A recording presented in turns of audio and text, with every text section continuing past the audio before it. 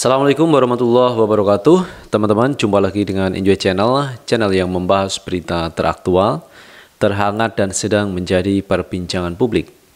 Sahabat Enjoy Channel kali ini yang akan kita bahas mengenai Pak Anies Baswedan.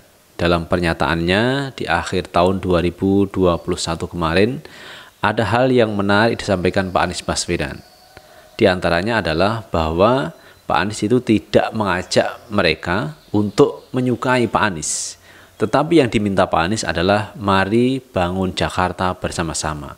Mari saling tolong-menolong antar sesama anak bangsa, terutama warga Jakarta. Karena dengan saling tolong-menolong akan memperingan semua masalah yang ada. Apalagi di pandemi virus corona, krisis sedang terjadi, dan Pak Anies mengatakan bahwa krisis adalah perubahan yang cepat maka kita harus siap menghadapi perubahan itu. Begitu juga kalau saya melihat Pak Anies Baswedan teman-teman, ketika Pak Anies ini diserai menjadi gubernur DKI Jakarta, maka Allah itu sudah memberikan takaran bahwa Pak Anies itu mampu menjadi gubernur DKI Jakarta. Dan Alhamdulillah sampai akhir tahun 2021 Pak Anies bisa menjalani itu sebagai gubernur DKI dan akan berakhir nantinya 10 bulan lagi di bulan Oktober 2022. Nah, teman-teman, untuk lebih jelasnya kita akan baca beritanya mengenai apa yang disampaikan Pak Anies. Karena ini cukup menarik, teman-teman. Kita ambil berita dari OK News, teman-teman. Gubernur Anies mengatakan, "Saya tak minta Anda suka dengan saya, tapi bantu bangun Jakarta." Satu pernyataan yang cukup cerdas dari Pak Anies, teman-teman. Anda tidak saya minta untuk menyukai saya, tapi Pak Anies meminta untuk sama-sama membangun Jakarta. Gubernur DKI Jakarta Anies Baswedan mengatakan bahwa dirinya tidak memaksa orang lain untuk menyukainya. Terkadang keputusan yang ia buat bisa menyenangkan orang lain dan ada juga yang tidak. Namun ia berharap seluruh masyarakat dapat berkontribusi menjalankan program pemerintah untuk kebaikan bersama. Saya tidak minta Anda untuk menyukai saya, tapi saya minta bantu sesama di Jakarta. Ikut menolong sesama, membantu seluruh kegiatan untuk menyelamatkan setiap nyawa yang ada di Jakarta dengan tanpa atau menyukai saya, kata Anies di kanal YouTube pribadi Sabtu 1 Januari 2022. Anies juga menuturkan harapannya pada tahun 2022. Selain itu, ia juga mengajak masyarakat untuk menjadikan tahun 2022 untuk berkomitmen menjadi untuk jauh lebih baik lagi. Saya ingin sekali tahun 2022 ini warga di Jakarta lebih banyak lagi yang bisa berkata begini, syukur Alhamdulillah kita tinggal di Jakarta ungkapnya. Ia mengajak masyarakat untuk memaknai krisis sebagai perubahan yang dipercepat. Anies membagikan pemaknaan sekaligus kontemplasi pribadi yang mematik suatu rasa dan asa atas berbagai pengalaman yang ada di 2021. Ketika terjadi krisis kesehatan, krisis ekonomi, kita semua melihat ini dalam perspektif masalah yang merepotkan. Tapi kita bisa memaknai bukan sebagai masalah, tapi sebagai kesempatan saya sampaikan berkali-kali, krisis itu adalah perubahan yang dipercepat, itulah krisis, kata Anies Baswedan. Ya benar teman-teman bahwa krisis itu adalah perubahan yang cepat. Maka kita sebagai masyarakat tentu harus siap untuk mengikuti proses perubahan yang cepat tersebut. Nah ini seperti yang disampaikan Pak Anies teman-teman. Jadi Pak Anies ini cukup cermat ketika melihat suatu masalah termasuk krisis krisis pandemi COVID-19. Anies meyakini bahwa masyarakat Indonesia, khususnya DKI Jakarta, merupakan generasi tangguh dalam menghadapi masa pandemi COVID-19.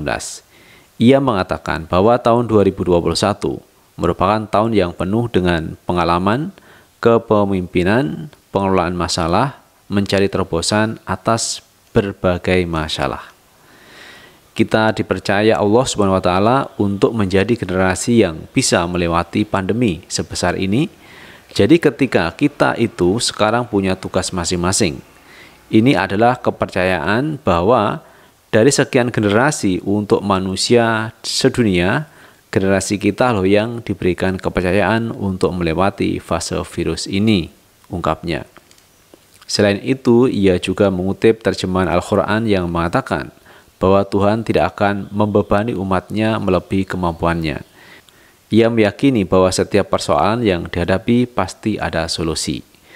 Saya yakin sebesar-besarnya beban yang diembankan ke pundak saya pasti Maha Pencipta sudah punya takarannya, ungkapnya. Itu teman-teman yang disampaikan Pak Anies Baswedan mengenai uh, membangun Jakarta diharapkan ini bisa dilakukan bersama-sama. Orang boleh tidak menyukai Pak Anies Baswedan, tetapi Anda harus bisa bekerja sama untuk mensukseskan program pemerintah DKI Jakarta. Karena dengan kebersamaan, maka ini akan membantu sesama warga DKI. Jadi ini pesan yang luar biasa teman-teman yang disampaikan Pak Anies. Orang boleh tidak menyukai saya, karena apa pun teman-teman, kebijakan dari Pak Anies Baswedan pasti akan terjadi pro dan kontra. Nah, yang kontra biasanya adalah orang-orang yang tidak suka kepada Pak Anies Baswedan. Apalagi kemarin ada pernyataan yang cukup eh, tidak mengenakan yang disampaikan Giring bahwa Indonesia jangan sampai dipimpin oleh seorang pembohong. Nah, kalau dipimpin seorang pembohong, maka Indonesia akan suram. Nah, pernyataan-pernyataan seperti ini menjadi catatan kita teman-teman bahwa Giring mencoba untuk mengkritisi Pak Anies Baswedan.